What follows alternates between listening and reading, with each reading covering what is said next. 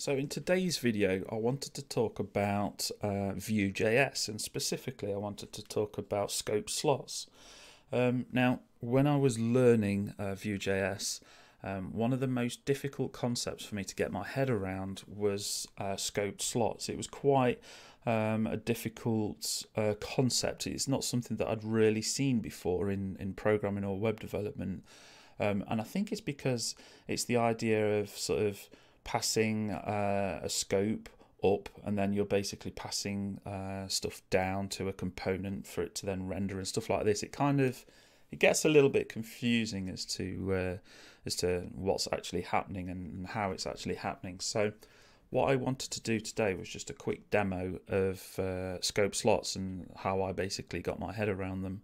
Um, I'll show you some examples in the code. So um, what I've done here is I've built just a very basic application. Um, I use the term application very loosely because it's literally just a list of um, of games, of you know Nintendo games. Um, so if we just have a look here in the app uh, view, we're literally just uh, using this product listing component. Um, we're literally not doing anything else. I mean, we're applying some Tailwind styles here, but that's irrelevant. We don't need to know anything about that.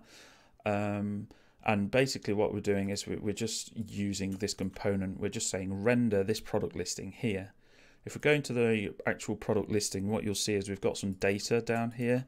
Um, this is just dummy data for now. This could be from an API, it could be from anywhere really. It's Again, it kind of doesn't really matter. It's just that we've got some data.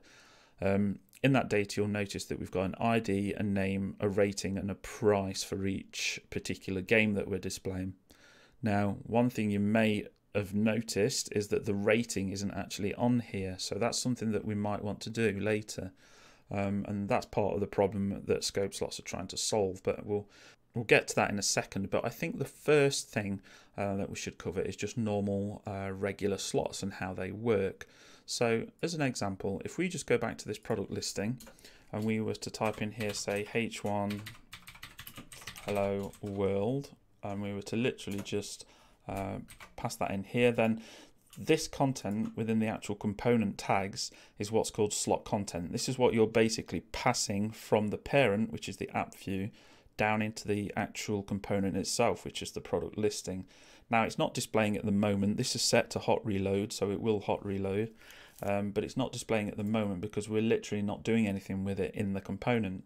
So we need to basically say when we receive that data or that HTML, we need to render it somewhere. So just for demo purposes, let's take out um, this. If we just delete this and we just put slot tags in here. And as you can see, hello world is rendered. I mean, granted, it's not the most uh, exciting demo in the world, but if I just do uh, uh, some text, text, text here, we go for span, then as you can see, that will get rendered as well. So basically anything that we throw in here is passed into the product listing and it's thrown out here.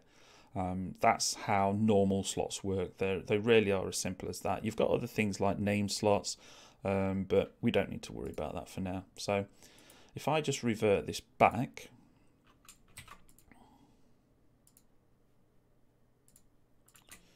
back to what we were. So if we just refresh that, you can see now we're back to where we were. Now, with that in mind, you might be thinking, right, okay, well, if we wanted to change how these look using this product listing component, then the only way that we can do that at the moment is by changing the actual product listing component. And you would actually be right with that. So it's kind of like if we wanted to add anything or if we wanted to change these colors or the, you know anything in here, then you would actually have to change the, the actual component itself. However, what we want to be able to do is we want to be able to pass this data in to the actual component and then we can decide how that looks itself. So just as an example, let's say if we want to determine what, what each one of these looks like. So if we take this div here knowing what we already know, we'll go, okay, we'll replace whatever's here with a slot. Okay, so they disappear because obviously we're not passing anything in. If I now then open these tags up, and then if we just move these back a little, there we go. And that's basically what you would expect to work, right? So you've got this product listing, you're passing in what each one looks like and then we're rendering it uh, on each iteration. Now the problem with this, and you can see with the error consoles below, is that product is not defined on the instance but referenced. And what that basically means is to do with this product here. So if we were to essentially delete this and change that to 1, and say if we were to delete this and change this to 2, this will now render. And the reason it renders is because it's not having an issue calling out uh, to data that it can't see. When it was like this, I just one second. When it was like this, the problem that we had was that it doesn't know anything about product. Product, if you remember, is inside this. So you in inside this component, you've got products themselves, and then we're basically v-for-ing over the products to get a singular product. In this component, or this parent component, should I say, we've got no concept of what a product is whatsoever. We've got no idea what that is. So essentially what we want to do is we want to basically get the scope from this component and pass it up to the parent component so that it can use it within these slot tags. And then once you can use it within the slot tags, it means you'll be able to do stuff like this. That's exactly what scope slots do. So how do we use them? Well, the first thing that we need to do is on the actual slot here, this is within the actual component, we want to basically say which uh, of, the, of, of the scopes we want to pass up. So from here, we can basically bind, if we just bind, uh, say product, and we can bind it here like this. Now what we're saying is that for this slot here that we're using, the actual scope that we want to pass up is going to be product. So that's one individual product each. So that's basically getting passed up each time. So if we now go back into app, so from here we can basically say v slot, um, and then it's the default one that we want. Um, and then on here we want to say slot props because this is kind of what we're what we're aiming to get. So if we save that, um, as you can see, it makes no difference. But then what we need to do is we need to go slot props and then put slot props here like this. I just refresh this quickly if I didn't need to, just clear out these errors. You can see that that works. Now what we can do from here, obviously, is because that scope's now available to us, we can now choose how we want this to look. So we could kind of put these all at a quarter. Uh, you have the product name and then say the product rating. Could decide to put that there. Um, we could decide that we want to make all of these green green 700 going to be too much? No, that's about right. Um, and then you can basically do it this way. So now you can see that the parent is now completely in control of how this is uh, being rendered. It's not really anything to do with the actual product listing itself. We are simply just passing down uh, how each one of these should look. And like I say, we can then determine what data we want to show as well.